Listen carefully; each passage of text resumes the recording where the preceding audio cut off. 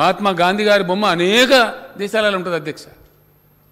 విదేశాలకు పోతే you are from India oh you are from Gandhi's place great man great man అంటారు అధ్యక్ష. ఏ దేశం పోయినా. అటువంటి దేశంలో ఏం వింటున్నాము ఏం జరుగుతున్నది?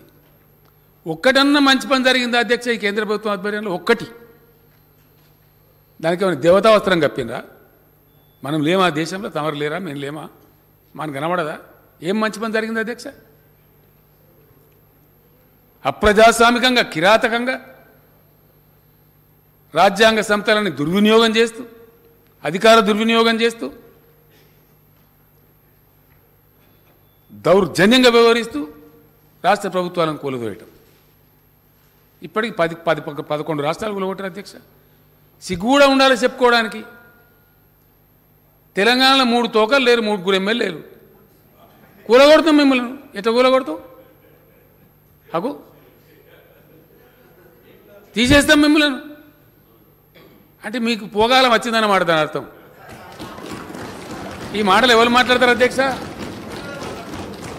ప్రజలకు అర్థం కాదా? దీని మూలం ఎక్కడున్నదని దేని కొట్టానో తెలియదా ప్రజలకు? ప్రతి రాష్ట్రంలో పోయి ఇదే పెడబొబ్బలు. ప్రతి రాష్ట్రంలో. నిన్నగాక మొన్న అధ్యక్ష స్టాలిన్ గారు గెలిచిండ్రు. తమిళనాడులో. ఆడు ఒక ఆయన పేరుందో ఆయన పేరు నాకు తెలియదు ఆ బీజేపీ అధ్యక్షుడు ఆ రాష్ట్రంలో.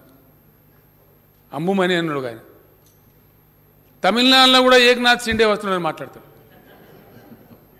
నువ్వే సంతానికి వెళ్ళలేదు నువ్వు ఏకనాథ్ షిండే ఇక్కడ మనిషి ఈ షిండే బౌండేలు ఎవరి కోసం అధ్యక్ష నాకు అర్థం కాదు. ఎవరిని బెదిరిస్తారు ప్రజాస్వామ్యంలో? ఎవరో గొంతు నొక్కుదాం అనుకుంటున్నారు? అందరూ ఒకటి అన్నారు మీ గొంతు కొడితే మీరు ఎక్కడ పోతారు అసలు? ఉంటారా? ఇంత పెద్ద దేశంలో ఇంత సువిశాల దేశంలో ఎన్ని అనుభవాలు? ఎన్ని సందర్భాలు అధ్యక్ష? లోక్నాయక్ జయప్రకాష్ నారాయణ ఒక తిరుగుబాటు చేసి పిలిపిస్తే నలభై యాభై రోజుల జైలుల నుంచి పుట్టిన జనతా పార్టీ ఈ దేశం మీద జెండా ఎగిరేసింది. That is the power of democracy yes that is the power of democracy చూపిస్తారు ప్రజలు సమయం వచ్చినాడు. ఈ గోల్మాల్ గోవింద్ అని చెప్పి ఇష్టం వచ్చినట్టు మాట్లాడి ఒక్కటన్నా జరిగింది అధ్యక్ష? ద్రవ్యోల్బణం పెరుగుతుంది రూపాయి ఇంతకుముందు ఏ ప్రధానమంత్రి హయాంలో లేనంత విలువ రూపాయి పతనం అవుతుంది విపరీతంగా నిత్యావసరాల ధరలు పెరిగిపోతాయి అంతర్జాతీయంగా దేశ ప్రతిష్ట కదా అంబాసిడర్లను పిలిచి బెదిరించి ఏం మీ పిచ్చిలేసిందా ఏం మాట్లాడుతున్నారు మీ దేశంలో మాట్లాడతారు. బ్లాక్ మనీ తీస్తామంటే ఒక రూపాయిదే లేదు. పదిహేను లక్షలు ఇస్తామంటే పైసే లేదు. పదిహేడు ఇరవై ఇరవై లక్షల ఉద్యోగాలు ఖాళీ ఉంటాయి. ఏదొక్కడన్నా ఫలితం ఇచ్చిందా అధ్యక్ష? ఒక్క రంగం అన్నా. ఒక ఇరిగేషన్ ప్రాజెక్ట్ కట్టినరా ఏదన్నా విషయంలో ఒక పేదలను ఆదుకున్నారా? అతి పెద్ద సమూలమైన మార్పు దేశ రక్షణకు సంబంధించిన అత్యవసర విధానం. సైన్యం యొక్క రిక్రూట్మెంట్లో ఇష్టం వచ్చిన రీతిలో మార్పు చేసి పెడితే ఏం అట్టుడికింది దేశం? ఏం చెలరేగింది? ఎక్కడ పడితే అక్కడ రైల్వే స్టేషన్లన్నీ కాలిపోవడం ధ్వంసాలు. అప్పటికప్పుడు మీరు తెచ్చి పోలీసుని దించి అణిసివేయచ్చు కానీ ఆ యువకుల గుండెలలో రగిలే మంటలు ఆర్పుతారా మీరు? అవి మిమ్మల్ని దహించాయా? ఎందుకు ఈ అహంకారం? ఇవాళ కూడా ఈ అబద్ధంతో ఈ కరెంటు సంస్కరణల పేరు మీద? ఎందుకండి నాకు అర్థం కాదు? అధ్యక్ష చాలా బాధ కలుగుతుంది. ఈ కరెంటు కథ కూడా అందరికి తెలియాలి తెలియదు చాలామందికి. దీన్ని గోల్మాల్ దింపి చెప్తా ఉన్నారు. ఇది ఏంది అధ్యక్ష? అసలు సంగతి ఏంది ఇది? అధ్యక్ష దేశంలో స్థాపిత విద్యుత్ శక్తి ఇన్స్టాల్డ్ పవర్ అని అంటారు అధ్యక్ష. అసలు దేశంలో ఎంత ఉంది పవరు అనేది ఒకసారి ప్రజలకు తెలియాలి ఈ విషయం బట్టి విక్రమార్క గారు చెప్పినట్టు నేను దాని కొద్దిగా పొడిగిస్తా ఉన్నా. ఇది ప్రజలకు తెలిసే అవసరం ఉంది అధ్యక్ష. దేశంలో విద్యుత్ శక్తి లేదా కర్మ ఏంటంటే బాధ కలిగేది ఎక్కడ అంటే ఉన్నది అధ్యక్ష. ఉన్నది ఇచ్చే తెలివి లేదు ఈ కేంద్ర ప్రభుత్వానికి. ఉన్నది. ఉన్న పవర్ను కూడా ఉపయోగించే తెలివి లేని అసమర్థ ప్రభుత్వం ఉంది కేంద్రంలో మన కర్మ. The country's bad luck I'm ashamed to say this just because of the bad power policy of the country చిన్న మార్పులతోని చిన్న మార్పులతోని. అధ్యక్ష దేశంలో ఉన్నటువంటి నా లెక్క కాదు అధ్యక్ష. సెంట్రల్ ఎలక్ట్రిసిటీ అథారిటీ ఇవ్వాలని సరే సెంట్రల్ ఎలక్ట్రిసిటీ అథారిటీ వెబ్సైట్ కొడితే దానిలో కనబడుతుంది ఈ నేను దానిలోకి వెళ్ళి తీసుకున్న లెక్కలే. నా సొంత కాదు నేను రాసుకోలే. లేదా మా ప్రభాకరరావు గారు వేయాలి నాకు. సెంట్రల్ ఎలక్ట్రిసిటీ అథారిటీ వెబ్సైట్లో ఉండే సత్యాలు. Nothing other than that. ఒక్క పాయింట్ కూడా. ఈ దేశంలో ఉన్నటువంటి స్థాపిత విద్యుత్ శక్తి సామర్థ్యం నాలుగు లక్షల నాలుగు వేల ఒక వంద డెబ్బై ఎనిమిది మెగావాట్ల అధ్యక్ష. నాలుగు లక్షల నాలుగు వేల ఒక వంద డెబ్బై ఎనిమిది మెగావాట్లు గౌరవ సభ్యులు రాసుకుంటే మంచి యువకులు. తమ ద్వారా సెక్రటరీ గారికి నేను రిక్వెస్ట్ చేస్తా ఉన్నా.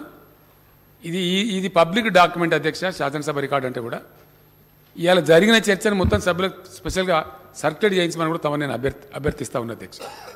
ఈ ఫ్యాక్ట్స్ పోవాలి ప్రజలకు.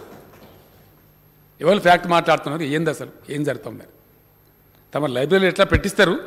సభ్యులు కూడా సర్క్యులేట్ చేస్తే వాళ్ళకి చర్చకు ఉపయోగపడతాయి కాబట్టి ఇరెస్పెక్టివ్ ఆఫ్ పార్టీస్ అందరికి సర్క్యులేట్ చేయించమని ప్రార్థిస్తాం.